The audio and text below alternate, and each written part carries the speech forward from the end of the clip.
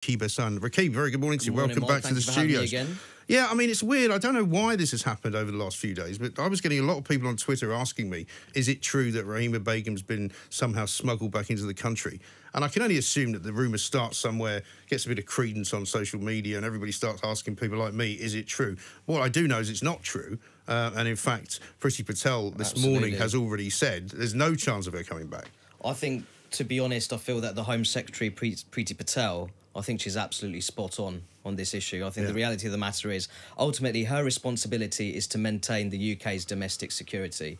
We're talking about someone who ultimately joined a jihadist, barbaric cult. Yeah. And ultimately, as I said, Priti Patel, she has to prioritise the security of British people. Yeah, well, absolutely right. And also, she has to keep an eye as well on the ones who have already come back. Uh, Absolutely. some of whom were fighters and some of whom were married to those fighters. So, how do they do both of those things? Absolutely. So at the moment, there are hundreds of people who have actually returned and they are walking the streets of Britain. So she very much has to focus on that, never mind actually taking a soft approach when it comes to the likes of Shamima Begum. Yeah, right.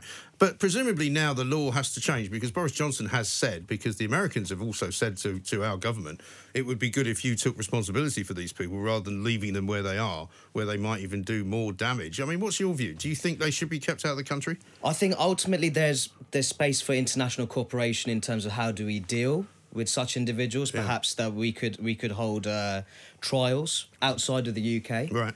Um, Almost like a war crimes tribunal. Absolutely, because the reality of the matter is there is no public appetite for the likes of Shamima Begum to return to our shores. Hmm. And Priti Patel, her decision on the matter is very much in keeping with the general public mood on this issue. And it's high time that our politicians actually start listening to British people. And because there are cases where they haven't previously done that on a number of important issues. Because, of course, the difficulty, I suppose, for, for the law abiding Muslim community, which is the vast majority, of course, of the Muslim community in this country, you know, Shamima Begum doesn't do them any favours. Absolutely not. Right. It's, it's, it's disastrous for the general reputation of the broader British Muslim population. And this idea that, oh, but she was 15 when she left, I think that's very disrespectful towards young British Muslim girls. These are the same who- people that say we got to listen to Greta Thunderbird. Absolutely. And know? the reality is, the vast majority of British Muslim girls who are currently attending school, they just want to further their academic ambitions. They want to the, do the best they can for their families and their community. So, this idea that we should feel sorry for Shamima Begum purely on the basis of her age Mm. because she left when she was 15 is absolute nonsense. I'd also bear in, we should also bear in mind that the age of criminal responsibility in England and Wales is actually 10. Yes. So, she's five years above that. Well, exactly right. So, how would you get to, uh, say, from point A to point B? How would you get to the, the place where you could maybe have some kind of international court which people would sign up to? Would it be done through the UN? How would it work? I think that there's definitely space for it, and perhaps it would be through international organisations. I think that is something that countries of the West, the unfortunate reality of the matter is this isn't exclusively a British problem. No. There are a number of Western countries. Well, her husband's Dutch, isn't he? Exactly. Well, Yeah. you know, case in point. So there has to be more international cooperation in terms of how we handle this problem. But what I would say is that there's a shared appetite among those countries that those people do not return to those societies. No, right. Which brings us on to an interesting piece you wrote uh, earlier this week for Spiked Online about this new definition of Islamophobia, yes. because of course that resonates an awful lot with this kind of story, doesn't it? Because where you have people reading about people like Shamima Begum and people going to fight for foreign countries uh, in parts of the world where terrorism exists. um, Absolutely. There's an anti-Muslim discrimination law being brought in effectively, but you're not happy with it. I'm not happy with the working definition by the all, Parli- all party parliamentary group on British Muslims Right. because I feel that the that definition of Islamophobia it dangerously conflates what we would consider hard forms of anti-Muslim prejudice Hmm. is dangerously conflating that with perfectly legitimate criticisms of religious ideology. Right. It's important not to mix the two together. Is it interesting that you've got an, a, a, law sort of defining something like Islamophobia in the same way that you've got one that defines anti-Semitism? Because we saw the Labour Party, um, you know, for the last couple of years struggling with the actual definition even of Absolutely, anti-Semitism. They they can't even agree on what that is. I think with the, with this particular definition, what I will say that the, the huge problem is, and this is, and I've you know I've analysed the definition. I've I've read the report produced by the APPG and British Muslims. Yeah. Is that it treats British Muslims as some sort of homogenous monolithic block. Yeah. The reality of the matter is. When we're talking about the oppression and victimization of British Muslims, much of that is actually experienced within their own communities. Hmm. And that's something that is missing from the report. And I would say that's a glaring omission. And that's something that we don't talk about What much you mean they're all. discriminating against each other? Absolutely. So, so it's an example of that. So, for example, we could talk about um, Ahmadiyya Muslims. They're a minority sect, and there are organisations such as the Muslim Council of Britain who have actually said that Muslims are not obliged to acknowledge Ahmadis as Muslims. Right. And we also had a case where there was a mosque in London, in our own capital, which is actually distributing leaflets saying that if Ahmadis do not, um, if they do not support orthodox interpretations of Islam, they should, within three days, face the capital punishment. Now, this is something going on within. That's our British? Muslim communities. And I don't think anybody listening to this show would have probably heard of that ever before. Absolutely not. And well, where interestingly, the mainstream media aren't too keen to report. Well, I don't know. I think maybe they think. I think the problem is with with a lot of media uh, stories about Muslims is that you know a lot of media are terrified of being accused of being anti-Muslim Hmm. or of somehow you know fanning the flames of hatred and all this kind of But nonsense. Right? we're talking about But we we're, need to we're, talk we're about it. talking about a mosque Yeah. which is distributing material, which is saying that if Ahmadis do not convert to their understanding of Islam within three days, Mm. They they, should should face killed. the capital punishment. Yeah.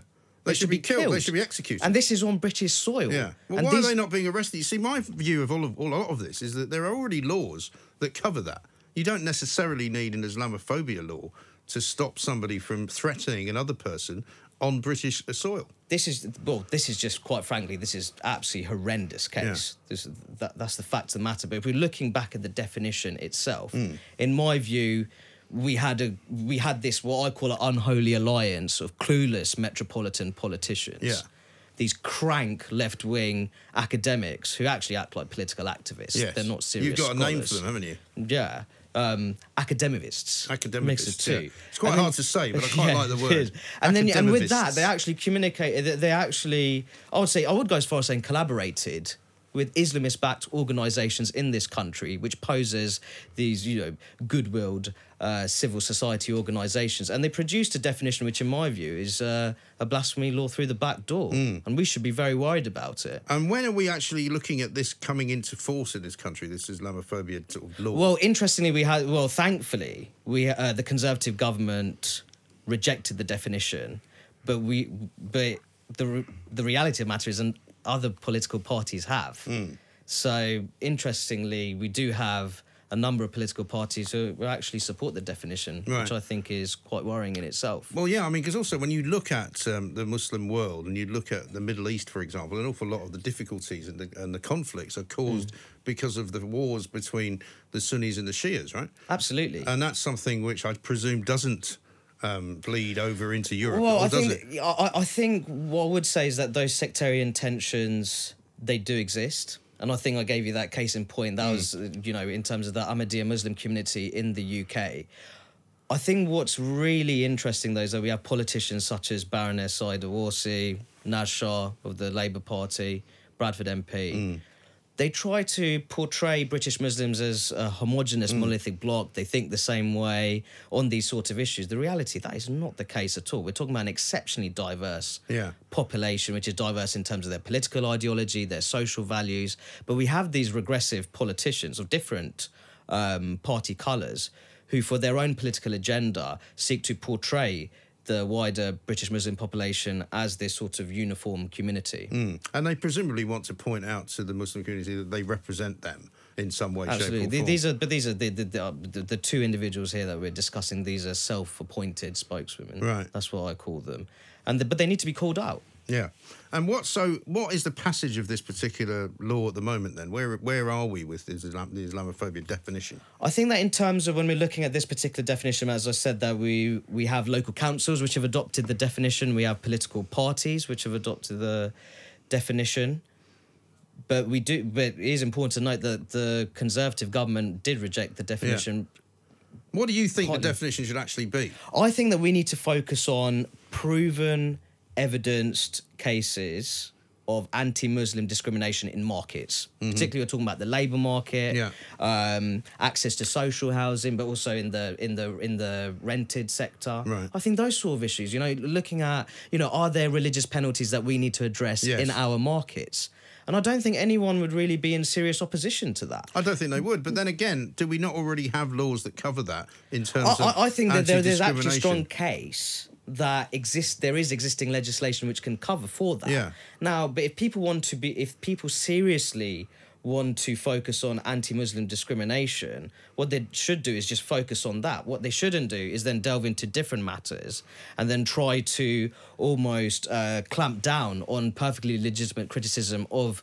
Uh, Islamic ideology, but also the social implications for author, you know, the social implications of orthodox religious Mm. doctrine and what sort of impact that has in terms of you know things such as social integration in the UK Well, that's and one of the community things that we saw. cohesion. That's one of the things that we saw in Birmingham, at that school, wasn't it? Where you would have, you know, the Muslim community there, albeit maybe a small part of the Mm. Well, I Muslim mean, I, I community mean, there, uh, old Jez, uh, you know, demonstrating- Jez is quite big on LGBT rights and all the rest Well, of he it. went was, very was a bit, he was quiet. a bit quiet there, Well, funny he? enough, we when we covered that story, I said, you know, for the left, this is a real problem Hmm. because they don't know whether to support the LGBT lessons that are going going on inside the school or support the Muslims Well, the who thing are is, the thing is, Mike, when you go too much into identity politics, um, you know, you, you start finding yourself in contradictory. But this is where it, this is where it starts to get tricky because you know there is there is for me no real good reason why you need to have a law against Hmm. Islamophobia in a way because you know you can argue that you might Mike, I have one. a problem with the term Islamophobia. Yeah. That's the reality. If you want to call it anything, the one the, the, I would I would use the phrase anti-Muslim prejudice. Yes. Because Islamophobia always gives the insinuation that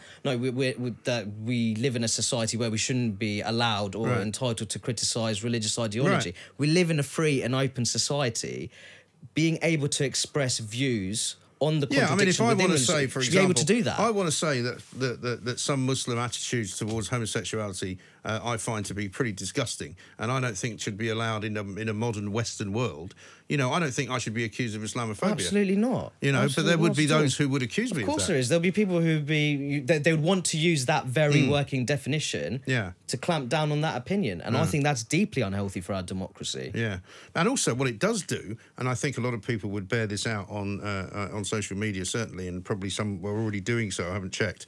Um, it puts a lot of people's backs up um, when you make out that one particular group is suffering discrimination when some other groups are also suffering discrimination, but there's nobody championing their cause. I think the well, the interesting thing there, we can take it one step further. There's minority groups within the broader British Muslim population who, are expre- who are experiencing, you know, serious forms of oppression and victimization. Yeah. But because there's too many metropolitan politicians who've fallen into this trap of treating British Muslims as some sort of victimized monolithic bloc, they're missing those internal tensions and those internal cases of oppression. They have no understanding of it and they're ignoring it to their peril. Absolutely. Dr. Rakib Ehsan, thank you very much indeed. Uh, the Henry Jackson. Society. You can find that piece on Spiked Online, right? I'll, I'll retweet it out yeah. uh, just before you leave. very kind. Uh, not at all. And if you want to have something to say about this, you know what to do. 0344 499 1000. I think what Rakib says about Shamima Begum and others uh, who are caught up in the whole ISIS scenario facing some kind of international criminal court, I think is a good idea. I'd like to know what you think about that. 0344 499 1000. This is Talk Radio.